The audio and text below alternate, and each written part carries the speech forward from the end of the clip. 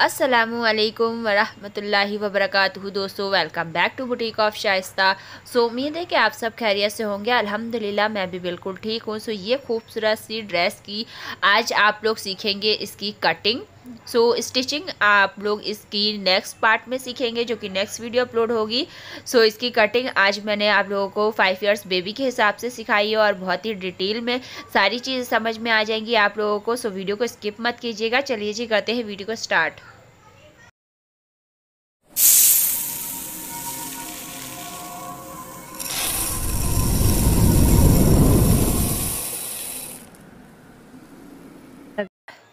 सो so, यहाँ पर जो मैंने फैब्रिक इस्तेमाल किया है वो कॉटन और थोड़ा सा लेलान का है। क्रेप भी नहीं है और लेलान भी नहीं है मिक्स फैब्रिक है। सो so, यहाँ पर मैंने ढाई मीटर फैब्रिक लिया है पूरी ड्रेस बनाने के लिए प्लाजो और अम्ब्रेला फ्रॉक दोनों चीज़ें इसमें आराम से रेडी हो जाएँगी। इसकी कपड़े की जो चौड़ाई है वो 44 इंचज़ है जो कि नॉर्मल होती है।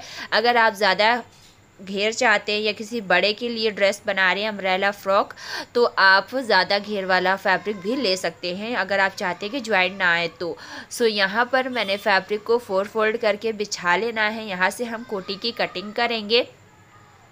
सो यहाँ पर सबसे पहले हमने ऊपर की साइड की तरफ़ फैब्रिक को पहले स्ट्रेट कर लेना है। जो भी आड़ा तिड़ा फैब्रिक हो, वो सीधा हो जाए।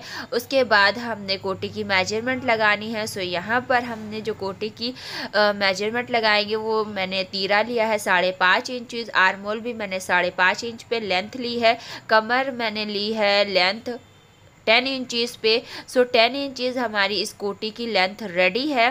सो, इसमें हम वन इंच प्लस करेंगे हाफ़ इंच ऊपर के लिए और हाफ़ इंच नीचे के लिए मार्जिन तो अब हम यहाँ पर लाइन ड्रॉ कर लेंगे। सो लाइन ड्रॉ करने के बाद अब हमने लगाना है बैक आर्मोल का निशान। तो मैंने यहाँ पर सवा पाँच इंचज़ पे लगाया है और फ्रंट आर्मोल हम लेंगे साढ़े चार इंचज़ पे चेस्ट का मार्क लगाएँगे सवा सात इंच पे और कमर का मार्क है सिक्स इंचज़ पे।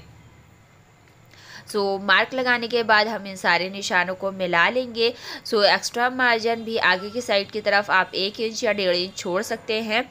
सो so, जो आर्मोल का शेप होता है वो बहुत से लोगों को प्रॉब्लम होती है कि हमारा परफेक्ट नहीं दिलता है। तो उसका एक ये राज भी है कि अगर आप बड़ी चौक से दें तो बहुत ही अच्छा शेप आता है। सो अब हमने ढाई इंच पे नेक का मार्क लगाया है हाफ़ इंच शोल्डर डाउन किया है। और अब हम इसे बैक आर्म होल के हिसाब से इसकी कटिंग करेंगे, कोटी की।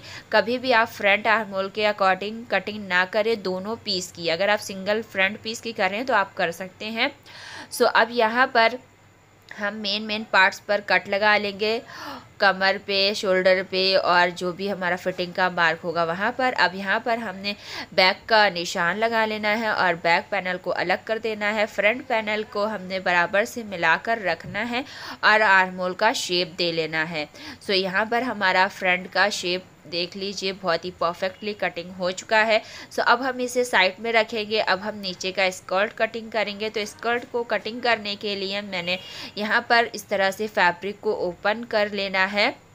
ओपन करने के बाद हम नीचे के साइड की तरफ़ जो भी एक्स्ट्रा फैब्रिक होगा उसे हम नाप लेंगे। तो यहाँ पर मैंने इसकी लेंथ इस तरह से रखी है कि नीचे मैंने सिर्फ़ पैंट हमारी आसानी से कटिंग हो सके।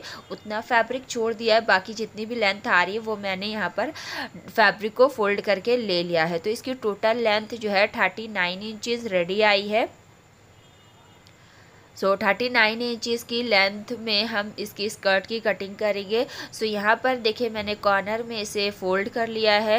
और यहाँ पर ये फोर फोल्ड में पीस है। अब यहाँ पर हम कमर का मार्क लगाएँगे, जो कि चौथाई हिस्सा था सिक्स इंचज़ पे। तो सिक्स इंचज़ पे मार्क करने के बाद हमने कॉर्नर से लेंथ नापनी है। तो जो कॉर्नर से लेंथ होती है, वो दोनों साइड की तरफ़ बराबर होनी चाहिए। सो यहाँ पर सेवन इंच या साढ़े सात इंच आ रही थी। आप लोग ठीक से देख लीजिएगा। अब यहाँ पर हमने जहाँ पर कमर का मार्क लगाया है, वहाँ पर हम टेन इंच रखेंगे, यानी कि कोटी का हिस्सा रखेंगे। सो टेन इंचज़ पे नीचे तक जहाँ तक हमारा फैब्रिक आ रहा था, वो मैंने देखा तो परफेक्ट हमारी जितनी मुझे ड्रेस की लेंथ चाहिए वो आ रही थी। तो अब मैंने ऊपर से कॉर्नर पे इंची टेप को रखते हुए यहाँ पर ट्वेंटी नाइन इंचज़ पे इस तरह से मार्क कर लिया है। सो अब हम इसकी कटिंग कर लेंगे तो इस तरह से हमारा ये राउंड शेप में स्कर्ट कट होके रेडी हो जाएगा। सो ये जो मैंने कटिंग किया है, इसमें स्कर्ट में सिर्फ़ एक ही साइड की तरफ़ ज्वाइंट आया है। तो इसे हम कैसे स्टिच करेंगे, इसे मैं आपको स्टिच स्टिचिंग वाली वीडियो में समझा दूँगी। सो अब यहाँ पर आप देख सकते हैं कि स्कर्ट कटिंग करने के बाद जो नीचे के साइड की तरफ़ आड़ा टेढ़ा फैब्रिक बचा है, उसे हम सीधा कर लेंगे।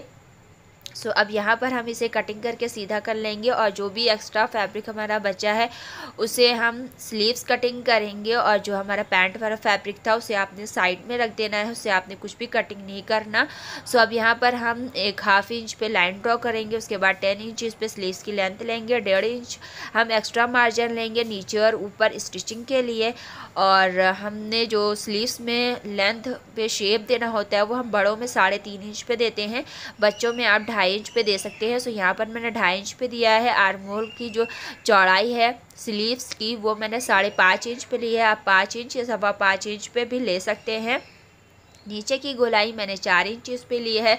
एक्स्ट्रा फैब्रिक आप अपने अकॉर्डिंग ले सकते हैं, जितना भी है, एक इंच या डेढ़ इंच अब हम यहाँ पर इसकी कटिंग कर लेंगे। कटिंग करने के बाद हमने मेन पार्ट्स पर छोटे छोटे कट्स लगा लेने हैं, ताकि हमें स्टिचिंग में कोई प्रॉब्लम ना हो। अब हम बैक एंड फ्रंट का मार्क लगा लेंगे और फ्रंट का शेप दे लेंगे। तो ये शेप आपने दोनों स्लीव्स में देना है। अब हम इसे साइड में रख देंगे। अब यहाँ पर जो भी एक्स्ट्रा फैब्रिक हमने निकाला था पैंट के लिए, उसमें हमने फोर फोल्ड करके रखा है। इसे मैंने लंबाई में फोर फोल्ड किया है और दो इंच मैंने इलास्टिक के लिए फैब्रिक इस तरह से मार्क कर लिया है। अब यहाँ पर जो कमर का फैब्रिक है, वो पूरा आ रहा है तो हम यहाँ पर कटिंग नहीं करेंगे। आसन मैंने इलेवन इंचज़ पे लगाया है और लेंथ यहाँ पर ट्वेंटी सिक्स इस प्लाजो की रेडी है। पर मैंने वन इंच प्लस किया है क्योंकि कपड़ा वॉश करने के बाद थोड़ा सा श्रिंग हो जाता है, सुकड़ जाता है। तो लेंथ कॉटन के फैब्रिक में वन इंच प्लस करके लिया करें। मोहरी मैंने यहाँ पर सेवन इंचज़ ली है और एक्स्ट्रा फैब्रिक मैंने यहाँ पर डेढ़ इंच ले लिया है। अब इस तरह से देखिए कि जो हमारा फिटिंग वाला मोहरी का मार्क था, उससे मैंने आसन को मिलाया। इसके बाद ये जो हमारा एक्स्ट्रा निशान है, मार्जिन वाला, उसे भी हम जहाँ पर आसन का मार्क लगाया था, वहीं से मिला लेंगे। तो यहाँ पर मेरे पास शेपट्टी स्केल जो था, वो ख़राब हो गया है, यानी कि टूट गया है तो मैंने इससे निशान लगाया है। आप लोग शेपट्टी से ही लगाइएगा। उससे बहुत ही अच्छा फिटिंग आती है और सिलाई करने में भी बहुत ईजी रहता है। सो अब यहाँ पर हम कटिंग कर लेंगे और जो भी ज्वाइंट वाला फैब्रिक हो, उसे कट कर लें। मेन पार्ट्स पर कटिंग कर लें। नीचे के साइड की तरफ़ मैंने हाफ़ इंच फैब्रिक लिया क्योंकि हम नीचे के साइड की तरफ़ अलग से पट्टी अटैच करके डिज़ाइन करने वाले हैं। सो इस तरह से हमारी ये प्लाजो कटिंग हो चुकी है। सो यहाँ पर मैंने पैंट बोला था, आप लोगों को वीडियो में आप लोग कन्फ्यूज़ मत होइएगा। मैंने प्लाजो ही बनाया है, आप पैंट भी बना सकते हैं। सो यहाँ पर मैंने सेवन इंचज़ की लेंथ पर रुमाली की कटिंग की है, चौड़ाई यहाँ पर चार या साढ़े चार इंच है इसकी। सो इस तरह से हमारी ये रुमाली कटिंग होकर रेडी हो जाएगी। सो यहाँ पर हमारी कटिंग की वीडियो बनकर रेडी है। सो आप लोगों को उम्मीद है कि सारी चीज़ें समझ में आ गई होंगी। अगर कुछ भी समझ नहीं आया तो आप मुझे इंस्टा पे डीएम कर सकते हैं।